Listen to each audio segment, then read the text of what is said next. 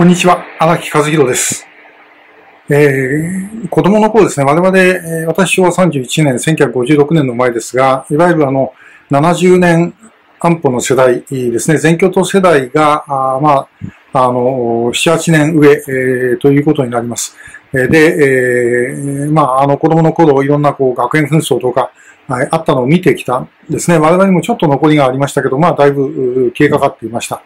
で、えー子供心にですね、あの学園紛争やなんかを見ていてどう思ったかということなんですが、あ私はですね、なんとなくこれ全く意味わかんないんですよ。どういう理屈かわかんないんですけども、あれをやっている人たちというのは、あ本気で、え社会を変える気はないんだなってなんとなく思ってました。えー未だにどうしてそういうふうに思ったのかあわかりません。でも、そう思ったことだけは間違いがないんですね。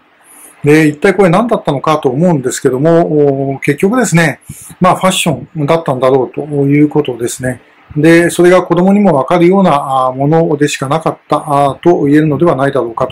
ということです。で、えーしばらく時代が後になりますが、民社党の時代、えーユースキャビネットという名前で、まあ、影の内閣を作るというのをやりました。まあ、あの、政策の勉強とかそういうことをしていくためにですね、えーそしてまた先にこう夢を持っていこうということで、えーそれをやったのが、えっ、と、昭和で言うと、もう終わりの時ですね、昭和から平成に変わる時です。で、えー当時青年局長が川端達夫、えーもう引退されましたけど、前、あの、衆議院副議長ですね、えーだったので、まあ、川端さんを総理にしてということでですね、えーやっておりました。で、まあ、この中で、あの、私書いたものの一つに、えー米軍基地を、あの、20年後に撤去撤去するとえいうようなことを書いた記憶があります。これも別にですね、あんまりものを考えて書いたわけではないんですね。えーなんとなく、あの、そういうふうにした方がいいんじゃないかなぐらいの感じで、えー書いたんですけども、今考えるとですね、そんなにおかしなことではなかったんではないかと。で民社党決闘の時、最初の時はですね、中流なき安保というふうに言っていました。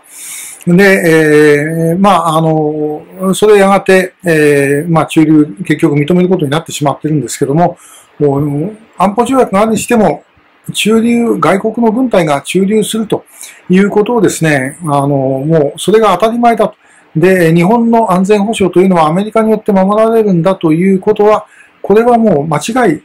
ですよね。間違いをずっと続けてきたっていうことです。みんな、あの、真面目な顔して。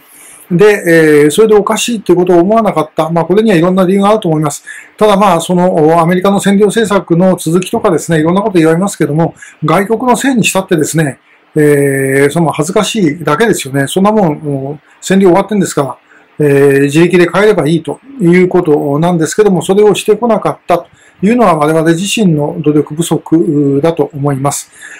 で、やっぱり最後自分の国は自分で守んなければいけません。だから外国の軍隊がですね、駐留をすべきではない。えーこれはもう横田でもですね、あるいは沖縄でも三沢でもですね、私はなくすべきだと思います。それはしかし急になくすなんてことはもちろん、えーできませんから、あの、長い時間をかけることになるんでしょうけども、それでも不平等条約だって、不不平等、不平等条約だってですね、えー何十年もかけて撤廃してるんですからね、できないことはない。で、えーまあ、ガシン、翔太がそれなりに頑張ろうというふうにですね、思うことが必要なのではないだろうかということです。で、もし、えーアメリカの基地を日本にそのままずっと置いとくんであれば、逆に日本の自衛隊の基地駐屯地もアメリカの本土の中に置いとくということも、これもあってもいいんじゃないかと。それがあってこそ、お互いにこう公平ということになります。ただそうすると、アメリカの戦争にですね、あの、巻き込まれるということも当然起きてくる可能性があるわけで、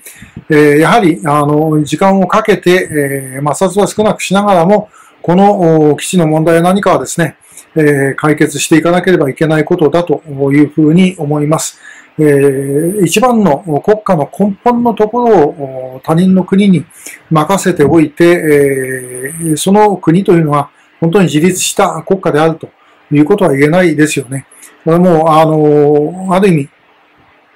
えーなんというか、まあ、サファリパークとか、あるいは養豚場とか、そういうようなものをですね、連想させる国家であってはいけない。それはしんどいことなんですけども、しかし、やはりちゃんとした国家としてですね、元を戻すためには、アメリカの基地の問題というのは、えー、どんなに時間がかかっても絶対に解決をすべき問題であるというふうに思います。え、日米同盟が続くとしてもですね、